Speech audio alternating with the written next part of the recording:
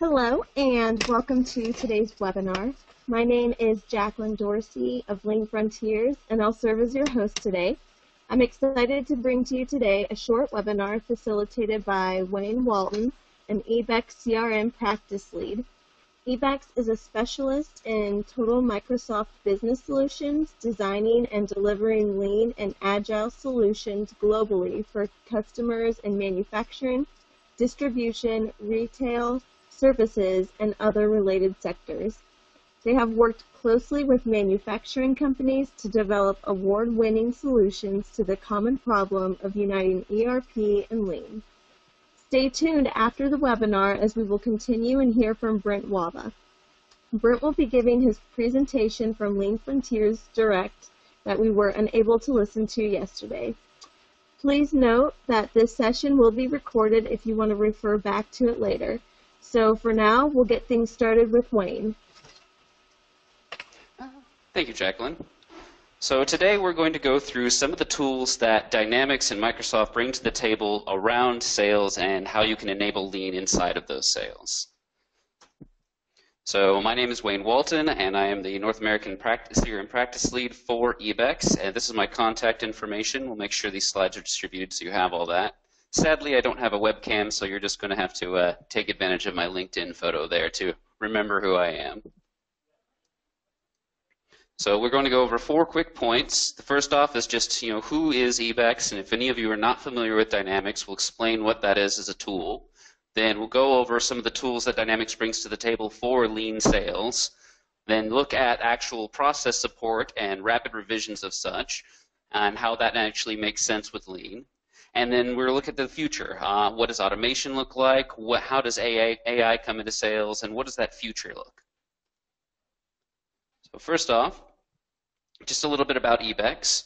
We are a company largely based in the UK, but we do have a global presence. We're focused on total solutions for dynamics around the business, both for operations and sales. We have a major uh, presence in manufacturing, especially lean manufacturing. In fact, the manufacturing module for Dynamics AX was built by eBECS. We created it back in 2003 for AX version 3, and then it was purchased for ABEX, uh, for purchased by Microsoft for AX 2009 and integrated into the product. And since then, of course, we have built our own accelerator to continue to enhance the lean tools inside of AX that, of course, we know very well. So, and just a little bit more about us, you know, we we very much focus on the customer success. That's our big thing.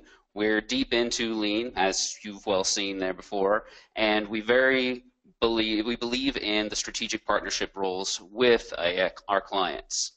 So that's a little bit about us, of course that's not very deep at all, but hopefully gives you an idea of who we are and why we're even on the call. And a little bit about Dynamics 365. So this is Microsoft's tool for line of business software. If you've heard of CRM or AX, the, this is the next generation of those tools. It combines your sales and your operations, field service, customer service, project service, and even marketing into one platform that can be used uh, synchronously across all of your business and also supports Office and Power BI and Cortana. So this is what we're going to be looking at specifically just at the sales module itself there in the middle and how we can use our the lean principles we've discussed over the past couple days inside of Dynamics CRM sales. So there are a few tools that I'm going to focus on here within the CRM system. Now CRM as a whole, I am sure that all of you are aware, is basically considered in many ways a glorified Rolodex. It's a place to store your contacts to your customers so you can sell against them. Maybe you're doing some opportunity management in it. That's really the beginning and end of where the thought process goes for uh, CRM and sales automation. But there are tools inside of the Dynamics platform that help bring a lot more uh, lean functionality to sales. The first of which is the voice of the customer. You know, we heard a little bit about that yesterday, but basically inside of our Dynamics 365, we now have the ability to build surveys on the fly that allow us as a sales team or even as a marketing uh, research team to discuss many deep things with our clients. And we'll actually take a little demo, take a little look at that in a minute here. Then we also have customer insights. This is a data enhancement tool that allows you to get good information about your customers to make sure that you've got the best information you could possibly have that's publicly available. So if people are coming on board, if they have executive changes, if they've got strategic changes that have happened in the marketplace that you may not know of, the Customer Insights tool allows you to get that information quickly, which allows you to you know, make sure that you know exactly what's going on in your customer, which of course is how you support your customer in their journey. Then we have the social engagement tool. That is kind of the flip side of the voice of the customer tool. So if the voice of the customer is something you'd focus on if you have a very low transaction, high relationship kind of engagement with your customers, social engagement tends to be more towards your high volume, low engagement, maybe business to customer kinds of sales. So it would be excellent if you were like the Coca-Colas of the world where you need to know how people are tracking your sentiments and how do you do outreach on a large scale. So they're great tools that rather complement each other depending on the focus of your business. Then we also have the customer portals. So these days, a lot of sales is actually driven by the customer seeking information. The customer portals inside of CRM allow you to actually surface your sales and marketing collateral, your information, how you actually can show the customers what they want to know without having to do any extra work on your end. That gets surfaced to them so they can do their self-driving information. And of course, then that can reach into CRM itself so you can see who's doing what on your site. And the last part is, of course, is how do we actually learn what's going on? The dashboarding and the ability to do BI inside of CRM is absolutely critical to a lean journey. Without being able to pull data, look at data, and find actionable intelligence on data, there's no way to improve and to you know, continuously improve, which of course is a key point of lean. Well, one thing I do want to note before we get into this is I haven't mentioned what Dynamics 365 isn't. So, you know, we've said it, what it is, but one big thing that it isn't, it is not a magical tool. It is not something that's going to help you fix your business, but it can help you illuminate what's wrong with your business. So if you have a business process that you wish to automate in a sales tool, and this is true for any sales tool, honestly, that you want to automate in a sales tool, it's only going to make a bad process faster if you haven't actually gotten down and validated your processes. So everything I'm showing you here is all about making sure that you're validating your processes, that you're getting real data from real customers or from at least your system so you know what's going on. So that's a real key point to note here is none of this is magic. You still have to do the work, but this helps you get to the work faster and get you to the real data faster. So before we go into the system, I just want to show a few quick slides.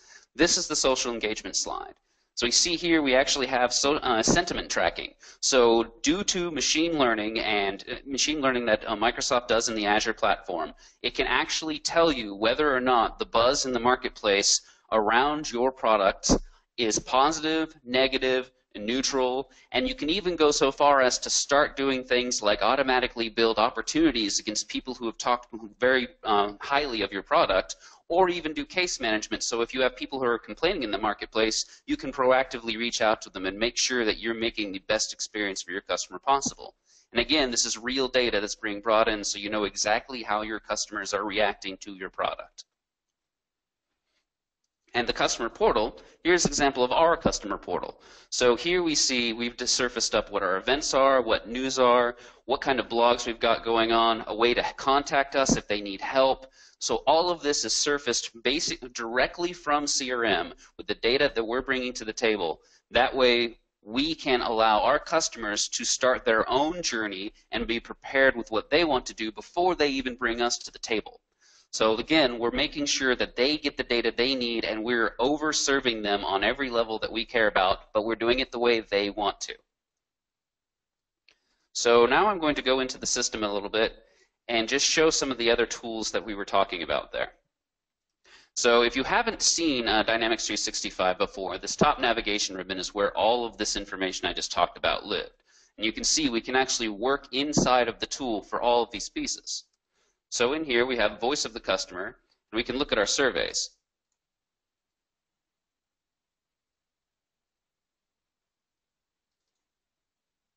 So I've got one survey in here that I've built out for this example.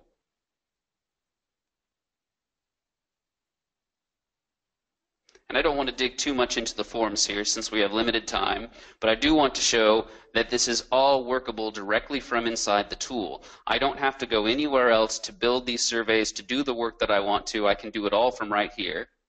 I'm going to go ahead and preview this survey so we can actually see what I built inside, uh, inside of Dynamics 365. Now, it's not the prettiest tool, it's not the prettiest survey ever since I just built it for this demo, but it'll give you an idea of what we can do.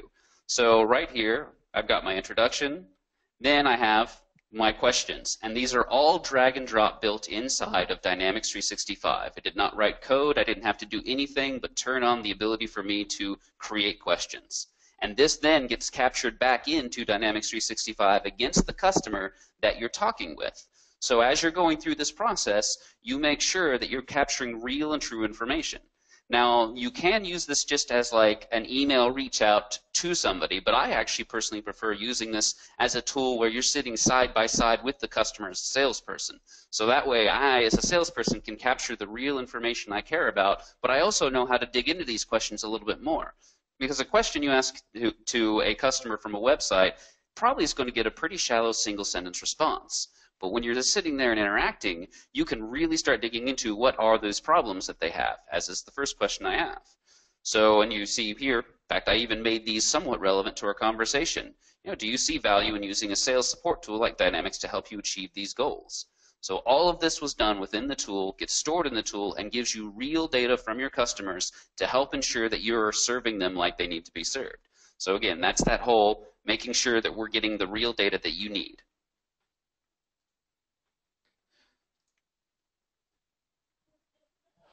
So beyond that, let's go back.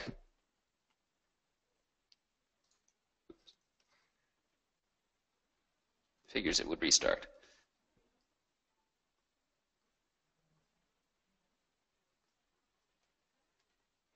There. So the next area I wanted to show was actual process support and how we can rapidly revise all this. So CRM has something called the process ribbon inside of its sales tools. Let me go to an opportunity here so we can take a look at that.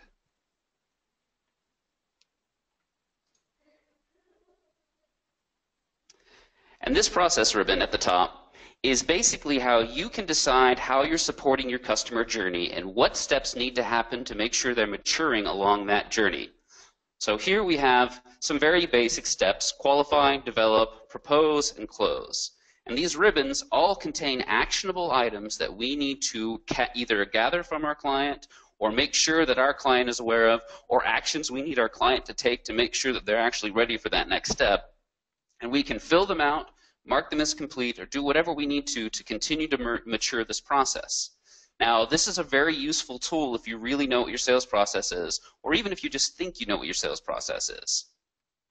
And the reason why I say if you just think you know what your sales process is, it's because you can use this ribbon to do things like A-B testing.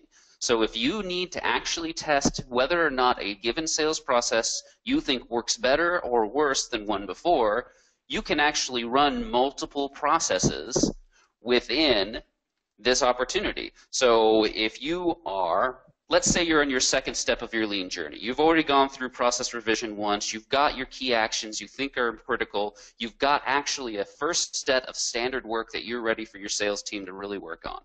Now, of course, there's still the adoption we need to get to, but if you're not 100% sure that well, your standard work is correct, you can still keep your old process around and then have certain teams do certain processes.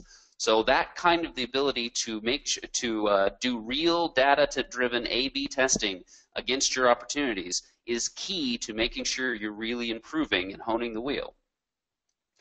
So, and these processes are not set in stone in any way either. If you find that there is a real improvement that needs to be made quickly to a process, you found data in here that says this is definitely a gap, just by clicking the edit button, assuming you have permission to do so, you can come in here and change what you need to very quickly and easily with drag and drop functionality around this process ribbon. So small changes can be done over the courses of mere minutes and pushed back to your sales team to make sure that they are live and ready with these tools. And that's the advantage of having this kind of process, rapid process capability is you're never hung up on a single process that doesn't work. As long as you're keeping on top of what does and does not work, you always can revise and you can do it very quickly.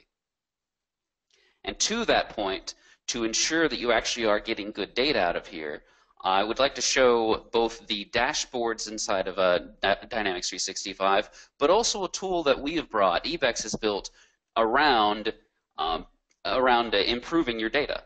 So what we've built is a tool called Process Step Times. And this is going to start giving you an idea of where the bottlenecks are in your steps. Where are people falling out? So when you have an opportunity and you need to keep it moving, one of the big potential problems is you're getting hung up somewhere. So with this process step time accelerator that we've built, this gives you the ability to drill down on the data to see where things are dying off. And also to see whether or not there are specific opportunities out there that have unusually high wait times in certain steps. So if you are able to track over the course of the next six months that, let's say your qualify step is an average of 30 hours before it's completed, but you see one out there that's you know at 200 hours, that suddenly gives you real data to go drill down into and see why does that opportunity fail or what's going on there. So this is a way to make sure that you have your, again, your real data so you can continue to lean out the problems in your process. And let me go to the dashboards. Let's not go to that dashboard.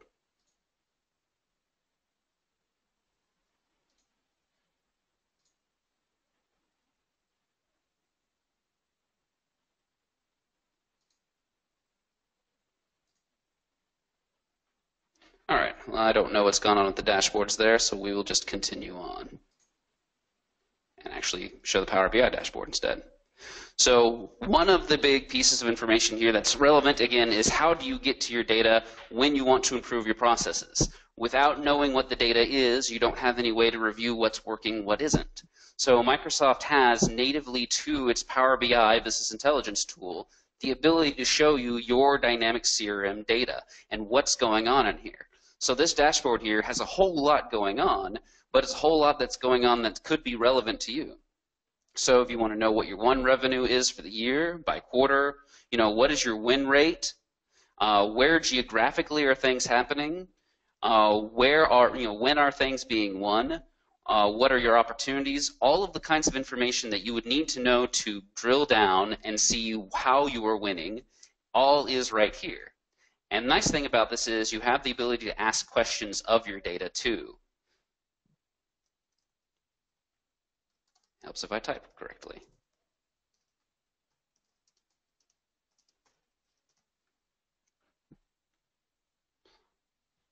Well, we won't wait on that.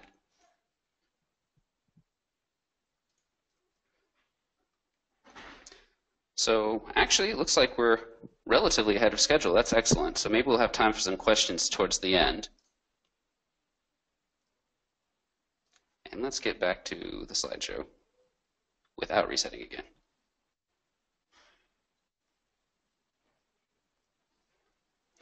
So one of the big forward-thinking pieces that Microsoft is bringing to the table is actually mentioned yesterday in the uh, conversation after in the QA afterwards, and that was what does AI look like? What does the future of sales look like, and what does that actually mean?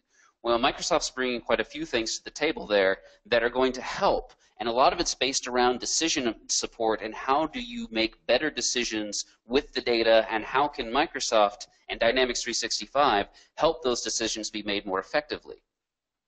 So one of the tools they're bringing to the table is an improvement to their customer insight suite, which really drills down into individual customers and gives you a nice detailed view on how they're interacting with you based on the data you have and also based on the data available in the marketplace. So then they also have what's called intelligent upsell and intelligent cross-sell.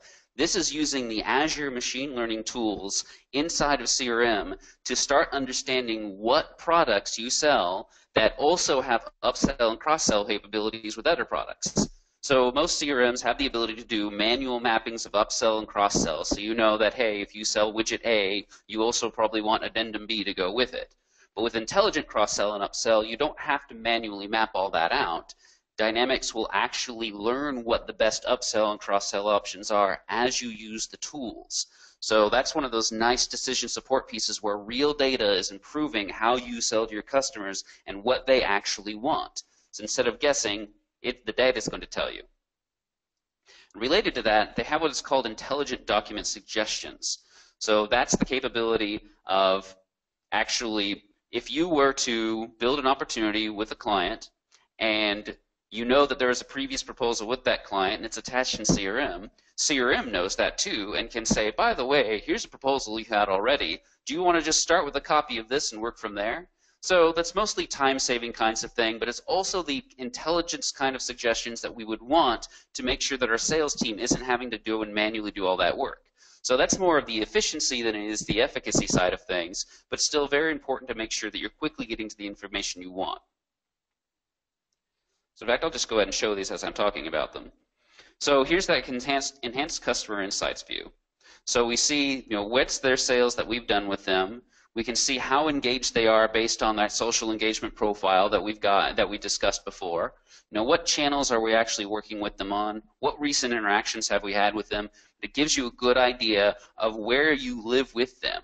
And one of the things that's coming through with this is the ability for CRM to tell you whether or not you're interacting with your customers at a rate they want to interact with you at. So as you, again, as you build data into the system, this is going to start telling you you haven't interacted with this person in a month, that's generally bad. Why don't you call them? So that kind of engagement support and the ability to make intelligent decisions on when you need to interact with your customers is going to be very important. So then this is that uh, recommendation model around intelligence uh, uh, around the intelligent cross-sell and upsell. That's a pretty systemic form, so I won't focus too much on it since we discussed it.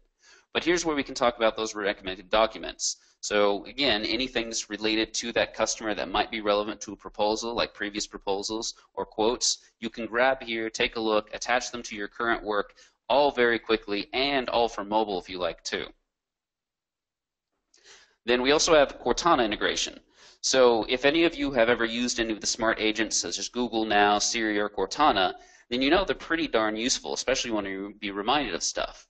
Well, with the Cortana integration, you get a lot more than just your regular notifications. Now you can start getting stuff like, okay, who are the key people I'm meeting with? You know, what does CRM know about these people? What does the internet know about these people? Uh, when I'm traveling to a certain location, are there, do I have any customers out there that maybe I should reach out, reach out to that aren't on my agenda? So that's all capable from within Cortana, or will be capable within Cortana within the uh, next release of uh, Dynamics 365. And of course, since Cortana is cross-platform, you get this on any smartphone you like.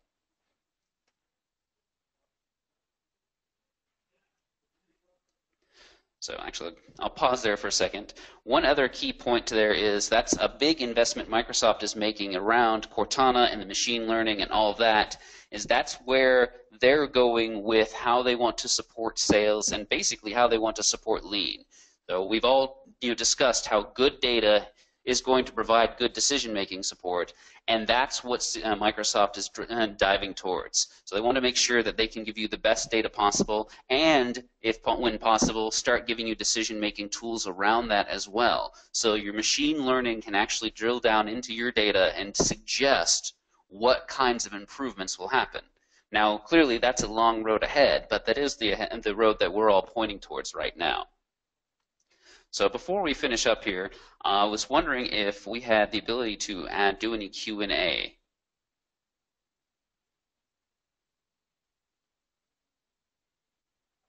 Uh, can you hear me? Yes. Okay. Um, yes, we do have the ability uh, to do Q&A.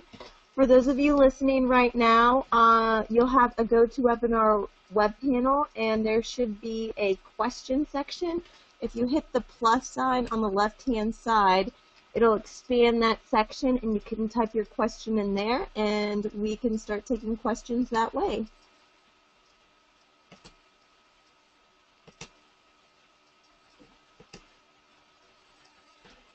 And we'll just give it a minute and see if we have anything that comes in. So feel free to start typing away.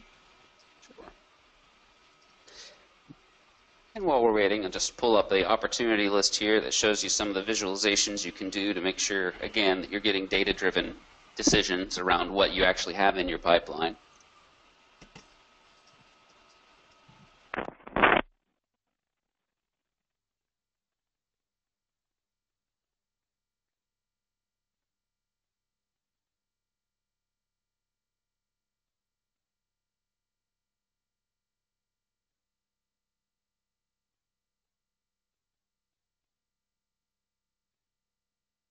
And one thing to note too is since all of this data is live, you can actually drill in on the fly to actually work in any specific area you want.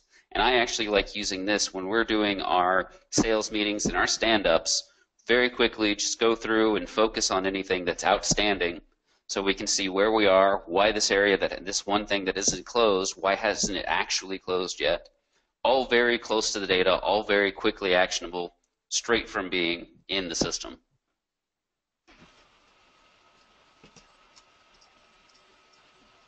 All right, well, it looks like we have not had any questions come in, um, but Wayne, would you like to flash up your contact information again in case someone thinks of one and wants to reach out to you? Absolutely. So, yeah, and what I showed right here is a very, very high level, lightweight, just here are the touch points inside of Dynamics 365 that can help bring data driven analysis and lean to your business.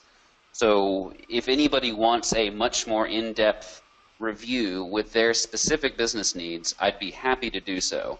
Um, yeah, when you look at your own real data and you see how you can actually pull out real insight from there just by getting it loaded and worked on, that is a way more illus you know, illustrative view than just looking at some you know, demonstration data I have set up.